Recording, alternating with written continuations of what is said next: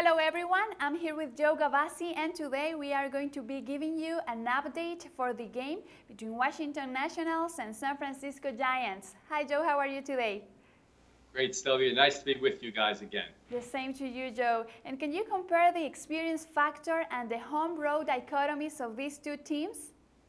Well, we certainly will do that. Of course, San Francisco Giants, winners of two World Series championships in the last four years, and this team has proven their experiences for real.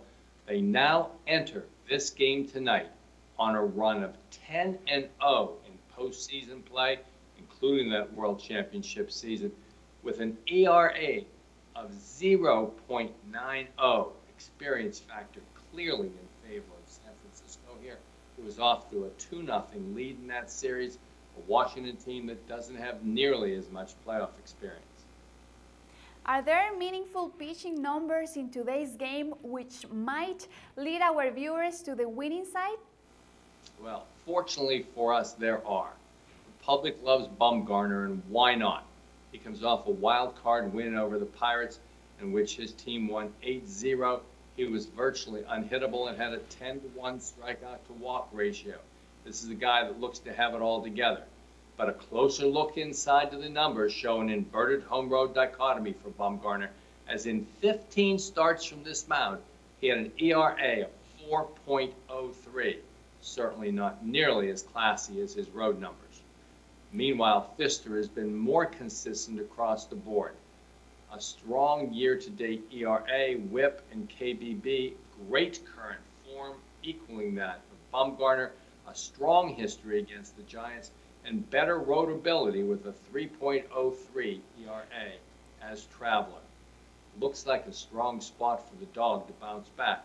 He trails 0 and 2, even against a San Francisco team who started out like a house of fire on their home field, but actually played under 500 ball over the last two thirds of the season on this field. I see. And finally, Joe, considering the information you have provided, what's your conclusion about today's winner? I think the percentage side here is Washington as an underdog. We get back some nice money here. We have a quality starter. We have the motivation of the 0-2 start. We have a team that might be a bit overrated based on not only their performance on their home field, but that of their starter as well. Washington, your quality underdog here in this matchup. Perfect. There you have it. Thank you so much, Joe, for your time, and we'll talk again soon. Always my pleasure, Sylvia. Good luck out there, guys. Good luck, everyone, and for SBR Picks, this is Sylvia. The SBR network offers free sports picks and game breakdowns. Big money free betting contests year round, a real-time Vegas-style odds monitoring service, and much more. So come see for yourself.